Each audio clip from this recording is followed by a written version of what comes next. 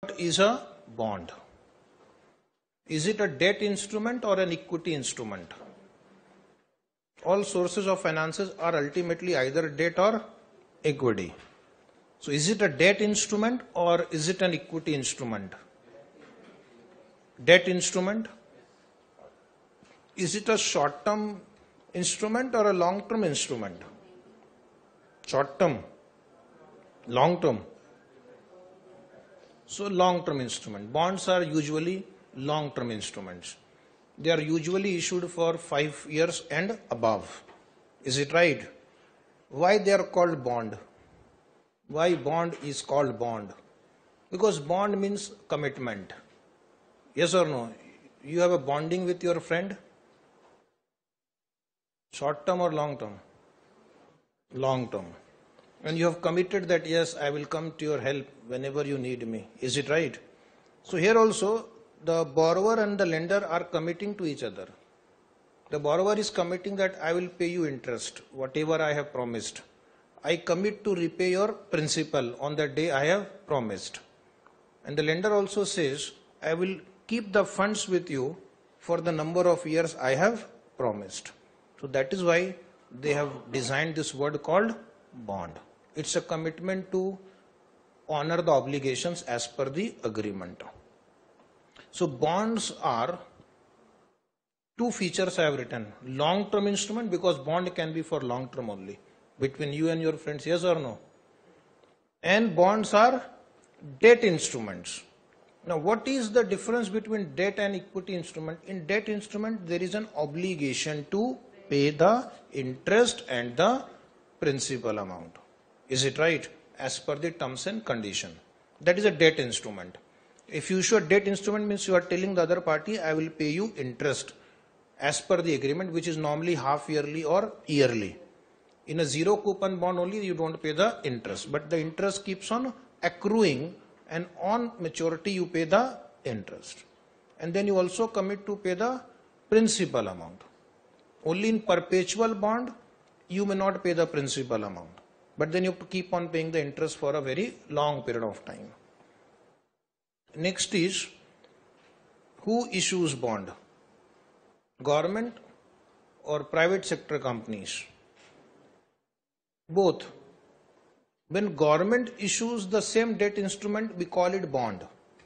When the private sector company issues the same instrument with same features, we call it debenture. We call it debenture. Like you have heard highway bond. Have you heard highway bond? National highway bond rural electrification bond, RBI bond. So which gives you an indication that yes, there is somewhere government is involved in this bond. But you will not hear Reliance bond. What you will hear? Reliance debenture, Tata Motors debenture. Is it right? Tata Capital Limited debenture, Dewan Housing Finance Limited debenture. So these are the private entities. So when they issue debt instrument, we call it debenture. Now remember in the beginning only I am telling you there is no difference in our calculation whether the problem uses the term bond or debenture. These are both debt instrument. Just to distinguish who issues it, we call it bond or debenture. So bonds will be issued by government, government companies or even private companies. Bonds can be secured or unsecured. So bond issued by government is usually secured because the government is the guarantor. That is why more and more people invest in those bonds because they know that I will get my money back after some years. But even the bonds issued by private and public companies are secured. But private companies may issue, private companies may issue unsecured bond. But then they have to pay a very high rate of interest. They have to pay a very high rate of interest. Otherwise, investor will prefer to invest in a secured instrument. Second paragraph, basic features of a bond. First, we learn some basic features of a bond. Then we'll solve the numerical problems. First point is bonds are debt instrument issued by government companies, public sector undertaking, banks, and highly rated companies. What is highly rated companies? Companies with high reputation companies with good credit rating, companies which are respected by the investors, they are able to issue bonds. Rate of interest. Now one interesting line write down, underline. Rate of interest is called coupon rate. So throughout this chapter, if I use the word coupon rate, it means the rate of interest which the bondholder will get and the company issuing the bond will pay. So it is the rate of interest which is paid as per the agreement to the bondholder. Most of the bonds have a prefix also, like you will read 9% bond issued by the company. If a company issues 9% bond, it means 9% is the coupon rate. Our calculation of interest, our calculation of interest will be equal to face value multiplied by coupon rate. Face value multiplied by coupon rate. What about the redemption? Redemption can be at par, redemption can be at premium. What you will do if the problem is silent? Par. Assume at par. Premium will be specified in the problem. In order to attract the investors to invest in the company's bond, some companies promise to pay premium also on redemption. Okay. Bond that can be converted into equity instrument is called convertible bond. So this is a separate section in our current chapter convertible bond on which we have lot of problems to be resolved also. Okay. For the timing bonds which can be converted into equity shares are called convertible bonds. Next is bonds issued at deep discount with no coupon and redemption at par or premium shall be referred to as zero coupon bond. So that is another segment in our syllabus, zero coupon bond, discussion on zero coupon bond. So what is the special feature of these bonds? They do not pay any coupon. Directly you'll get the principal. Then why will you invest in such bond? Because these are issued at discount. So interest keeps on accruing. For example, the face value will be 1000 rupees. Number of years will be 10 years so these bonds are issued at, for example, say 350 rupees. So you invest 350 rupees. After 10 years, you will get directly 1000. Then what about the interest in this 10 year? No, that is the interest. Why they are paying that 650 rupees extra to you? That is interest for 10 years. It's accruing and principal plus all accrued interest will be paid to you on maturity. So in a zero coupon bond, you don't have to calculate coupon. Is it right? Because coupon are not paid. Coupons are actually getting accumulated and you get the lump sum amount on maturity. So these bonds are also called deep discount bond. These bonds are also called DDB, deep discount bond. Because you see, face value is 1000 discount is 650 rupees and you have to just pay 350 rupees today. So that is why they have given a name deep discount bond. Some companies like IDBI, long, uh, some years ago, what they did, they told the investor, you pay only 2700 rupees and the face value is 1 lakh. So we are issuing you a bond of 1 lakh at only 2700 rupees. See so much discount I am giving. However, the number of years are 25. But that 1 lakh rupees will not pay you now. 1 lakh rupees will pay you after 25 years. So which effectively gave the investor a annual compounded rate of return of say 13 or 14 percent, which is okay. Is it right? At that point of time. So that is why they are called zero coupon bond or deep discount bond. Zero coupon bond usually have a lower maturity, whereas deep discount bond has a higher maturity. So if 25 year, 20 year is the maturity period, so normally such bonds will become deep discount bond. But if 3 year, 5 years are the maturity, then they call them uh, zero coupon bond. In short, we will call them DDB or ZCB. DDB or ZCB. Now, what is the status of bondholder? He's a creditor or he's the owner? Status of bondholder. He is like a creditor. He is not like an owner. Why he is more like a creditor? Because he is promised that your amount will be paid to you. A fixed amount will be paid to him, whatever is promised. That is what a creditor gets. He does not take the risk. Whether the company earns profit or incurs loss, he will get the interest. He will get his principal on maturity. Equity shareholders are the owners of the company. They do not get a fixed dividend. There is no guarantee about the redemption also. They may or may not get their money back. Whose risk is more? Bondholder or equity investors? Equity investors take a higher risk because he is not promised anything. Okay, he is not guaranteed a fixed dividend, is not guaranteed a redemption value. Bondholders are relatively safe. One, they get a fixed interest, irrespective of profit. They get their money back, and they are also secured. And they are also secured. And now the law of the land is so powerful. If the company does not repay the bondholders, they can even go to the court, get the company liquidated, and recover their money also. That is the power now the government has given to the creditors under insolvency law. Is it right? Is it in your syllabus also? CA final law. Insolvency code is there? Yes. In case debenture holders do not receive interest, they have a right to foreclose, sell the company's asset, and recover their principal. So, who is safe? Bond holders and debenture holders are relatively safe compared to equity shareholders and preference shareholders. Paragraph number three. Why do companies and government issue bonds? Why don't they simply issue equity shares? First is government needs funds to meet their expenses. Government needs funds to meet their expenses. So much of public infrastructure they have to create. From where will they get money?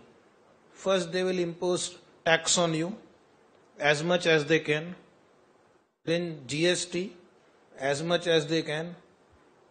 If that is not sufficient, then they will issue bonds. Is it right? Second is why companies issue bonds? Because company wants to maximize their profit. Everybody wants to do that if you're in business. So you would look for cheaper options as far as financing is concerned. In costing, you are taught material cost should be minimized by EOQ technique. Labor cost should be minimized. But finance is also a cost. Finance is also a cost. So cost of finance should also be minimized. So if I have different options to raise finance, I would go for that option which is cheaper. Bonds are cheaper. Government issues bond at 6% interest rate. Some debentures were issued recently at 8.5% interest rate. That is cheaper source of finance. My cost of finance is reduced. Okay. A corporation is willing to incur the risk. They are willing to take the risk of borrowing in order to reduce the cost of capital by financing a portion of its asset with security bearing a fixed return. Cost of capital is minimized. You have learned cost of capital chapter. And then the advantage of financial leverage. If you earn more than the rate of interest that you pay, it increases the rate of return of equity shareholders. So the presence of bonds on debenture gives you the benefit of financial leverage. Okay. One more reason for issuing bond. Tax deductibility of interest. So effectively your cost is reduced substantially. So tell me quickly, I have discussed this point. If interest rate is 10% and tax rate is 30%, what is your effective cost of borrowing? Interest rate is 10%. This discussion was there in the previous chapter. Tax rate is 30%. So effectively you are paying 7% only. By paying 10, you are saving 3. So what is actually flowing out, net outflow, is 7 rupees only. So of course you'll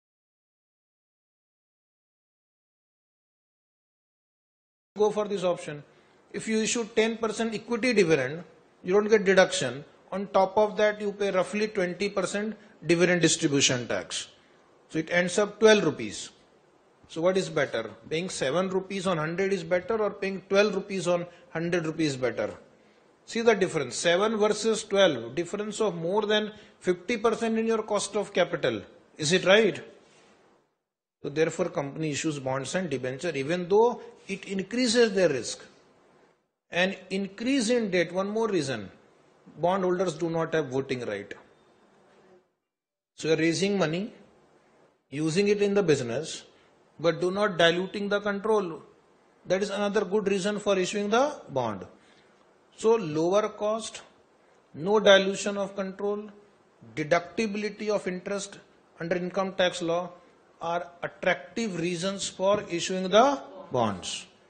Even though it increases the risk, but businessman takes risk. That is why he's doing business. So he thinks that by taking some risk, if I'm able to reduce my cost of finance substantially, let us go with this option. After those three introductory paragraphs, now let us come to our topic. Something basic things first we'll understand. Then we'll solve few questions today. What is the meaning of face value? Face value means par value. Every bond has a par value. This is the amount on which interest is calculated. This is the amount which the company redeems on maturity plus minus premium or discount.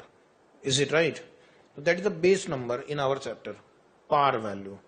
Now in some questions, par value may not be given to you. But hint is there. A company issued a bond at 95 rupees. A company issued bond at rupees 95. Guess the par value? 100 company issued a bond at 995 thousand. So if the number is close to 100 or is close to 1000, close to 5000, then what you do? You can assume 100, 1000, 5000 and write a note. We'll solve one question in the book which was asked for 5 marks in the exam. Face value was not mentioned issued at 97 was mentioned, redeemed at 102 was mentioned. So you will assume 100. Companies will not issue bond with face value of 97 rupees or 102 rupees. They will issue in rounded of numbers. Is it right? So we'll take 1000, 100 like that. Mostly it is given to you. Most probably 99% question will give you. But there are few questions, one or two questions in the syllabus where the face value is not mentioned for calculating coupon again pay attention you will be given two prices face value market price of bond on which number company will pay the coupon face value not on current market price not on issue price not on redemption price. Interest will be calculated on face value. Next is coupon rate. What is coupon rate? Interest rate which the company has promised to pay and bondholder has agreed to receive. So normally again most of the question will give you coupon rate. 9% coupon rate 10% coupon rate or sometimes they may not mention coupon rate but they will say company issued 9% bond. So what is the coupon rate? 9%. What is the purpose of this number? You will use it for calculating the coupon amount. When you purchase a bond, have you ever purchased a bond? in the articleship at least you must have seen the bond certificate your client must have purchased those, those highway bonds RBI bond for saving the taxes. So you will find it is written there 8% or 6% or 6.5% is it right? So it is printed on the bond certificate. Good news for the company issuing bond. Again interest is tax deductible. Bad news for the investor. What is the bad news? Investor, interest is a taxable income. So when you are going to solve the question for the investor, And if the problem says interest received 10 rupees, tax rate is 30%, so he's actually going to earn 7 rupees. And when you're going to solve the question for the company, interest is a tax deductible expenditure. So unless otherwise specified these two things, for the company it is a tax deductible expenditure, for the investor it is a taxable income. So we'll give the effect of taxation for both the parties unless otherwise specified. Next is coupon payments. Coupon payments means interest payments. So when does company pay coupon? Depends on the terms of issue of bond. Some companies pay annual coupon.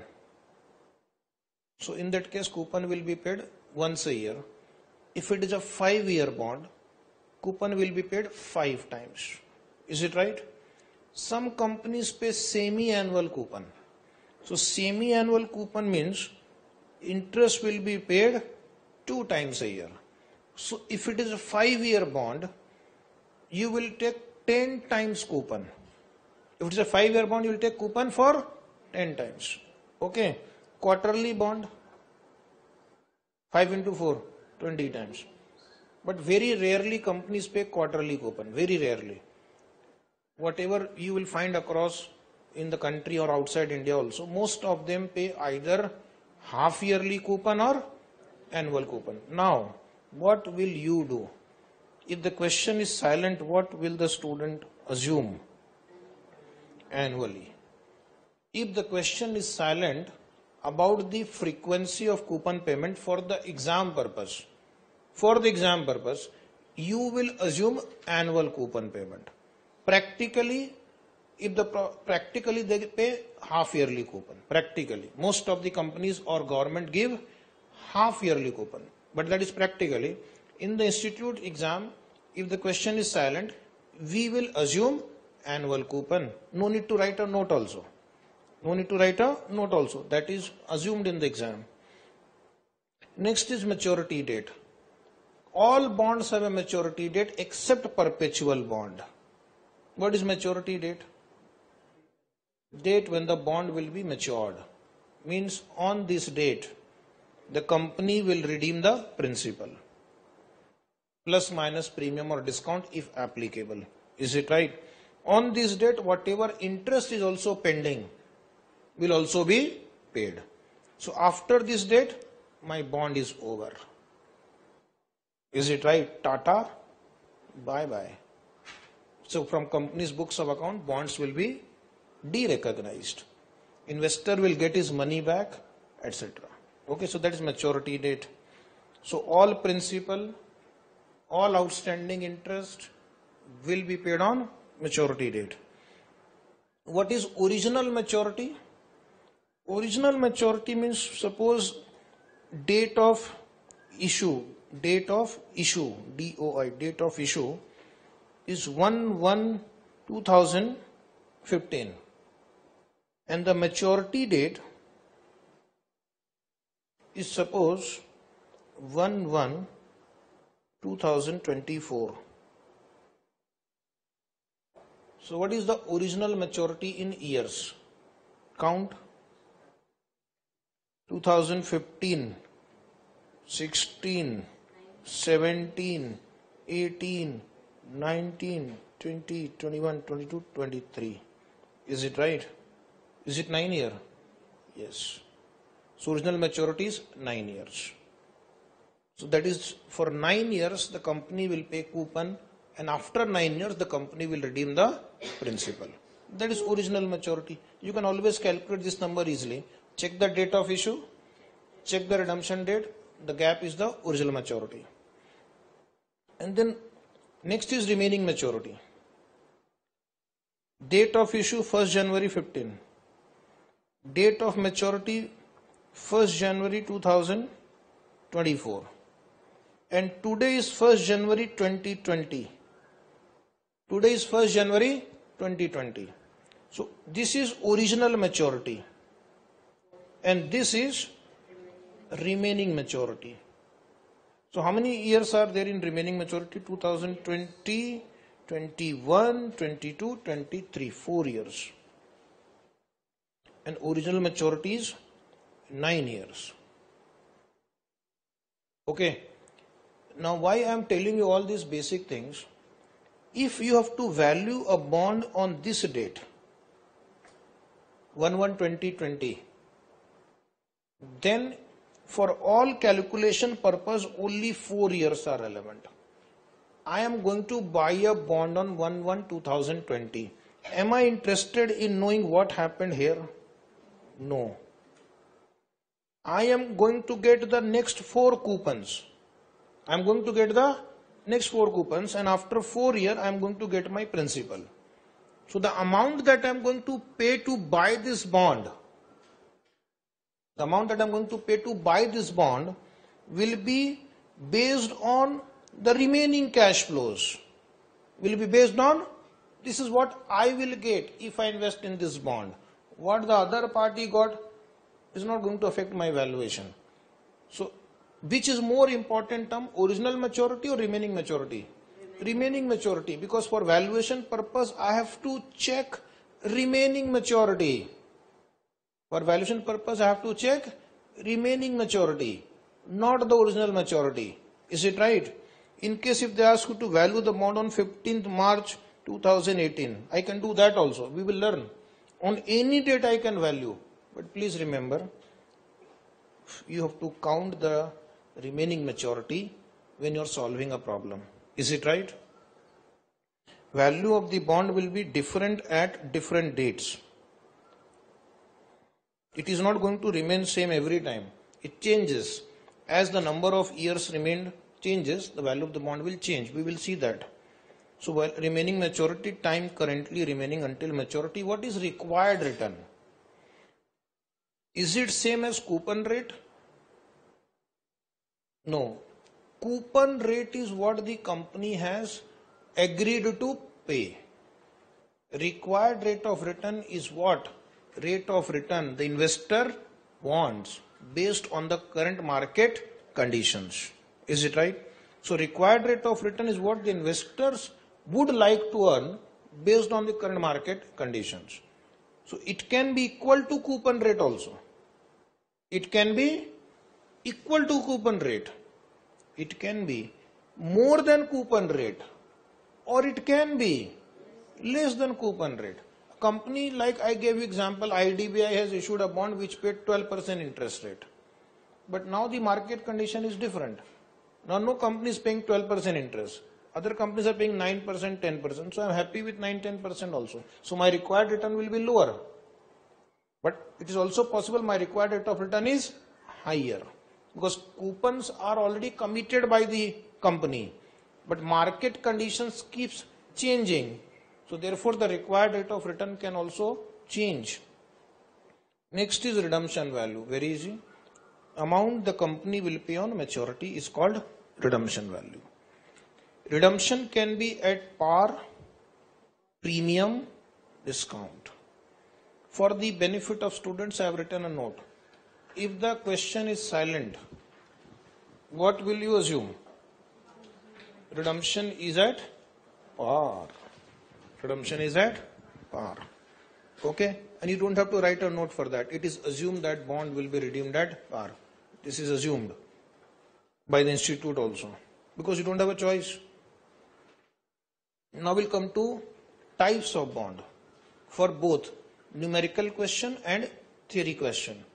Theory questions are write a note on floating rate bond, write a note on option tender bond, write a note on zero coupon bond. Okay. And then numerical question, how to find the value of these bonds and second, how to find the rate of return on these bonds. So next one or two days, our job will be to find the value of this bond and to find the rate of return the investor would earn by investing in these bonds. So basic understanding. So what are the types of bond? Coupon bond, perpetual bond, self-amortizing bond, zero coupon or deep discount bond, option bond, inflation bond, floating rate bond and option tender bond. This list is not exhaustive. Recently one company issued masala bond also. Indian company issues bond, issuing bond outside India in rupee is called Masala bond. Japanese company issuing bond outside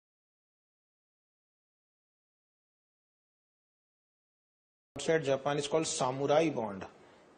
Okay. Champagne company issued a bond some years back. It was called Champagne bond. Okay.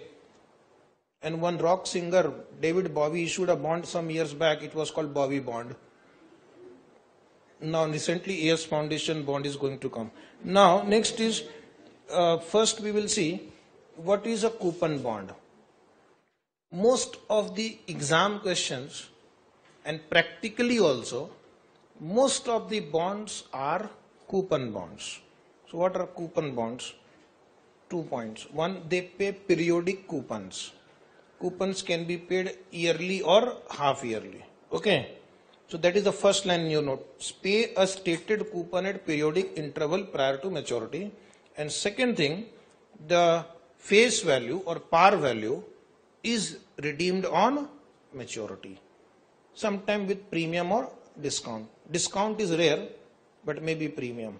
But in the exam, they may give you discount also. That is why I'm telling you, practically bonds are redeemed at par or premium. Very rarely at discount two things okay so what will be the nature of cash flow in such problems year 1 2 3 4 5 let us say 5 year bond face value is 1000 6% is coupon rate so this bond will pay you 6% of 1000 every year and in the last year it will pay 1060 so this is coupon bond how to calculate the value of this bond? Just find out the present value of future cash flow. Find out the present value of future cash flow at investors required rate of return. That is how you will calculate the value of a coupon bond. First you make a list of cash flows which the bond will generate. Okay, so first in this example only interest will be received, interest, interest, interest, interest. Last year interest plus redemption value which if nothing is given assume at par. Okay, and then you calculate the present value. For present value which discount rate you will use? Investors required rate of return because if he pays an amount using his required rate of return, it means he has earned that much rate of return. It means he has earned that much rate of return. Suppose his required rate of return is 13%. My answer comes to let us say 790 for example. So if he pays 790 rupees, it means he has earned a rate of return of 13%.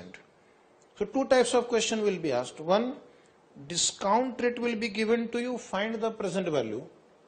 Second, this will be given to you you have to find the discount rate which means IRR which means IRR reverse working both type of questions will be solved so this is coupon bond we'll discuss in detail on the next page what is perpetual bond second is perpetual that means such bonds have no maturity date they will only pay coupon on periodic intervals, maybe half yearly or yearly. Is it right? Now, how do you compute the value of such bond? So, the present value of a perpetual bond, guess, you can guess, if suppose it is an infinite constant annuity, how do you compute the present value? Infinite constant annuity. A by R, you are right. A means annual coupon or periodic coupon. R means required rate of return. That's it. So this is the easiest formula of this chapter. Present value of a perpetual bond. A upon R. We'll solve questions on that.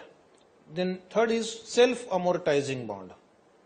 Self-amortizing bonds principal is redeemed in installment principal amount is also redeemed in installments. So in addition to coupon payment, company also pays a portion of principal. For example, you see, A company issued face value 1000 rupees bond, 9% coupon rate, and 5 years the life. And the institute says principal will be redeemed in 5 installment.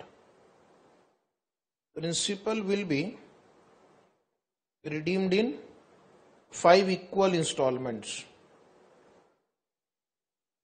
So this is an example of self-amortizing bond. Now in such question what you have to do? You have to write cash flow properly. Every year this bond is going to pay the investor 200 rupees 1000 divided by 5 and it will also pay interest. How much interest? 9% of 1000 in the first year. 990 who said that? 9% of 1000 90 but you have redeemed 200 rupees in the first year. So next year the interest will not be 90 again. How much? 72 then again you have redeemed 200 so 600 into 9% 54 then? 36 then? 18 and then you will write total cash flow which in our example don't write. We'll solve this question after a few minutes same question with different numbers will come again. It only understand. After writing this column then you will write present value at investors required rate of return. Take the total. This answer is the value of a self amortizing bond. The only thing you have to be very careful in writing the cash flow. What are the different varieties? They will say first two year there will be no redemption redemption will begin from third year as follows 300 300 400 that can also be done then accordingly your interest and redemption you have to write. Is it right? That is self-amortizing bond. Now next is DDB, deep discount bond. Already discussed. No coupon. Only the principal amount will be redeemed on maturity.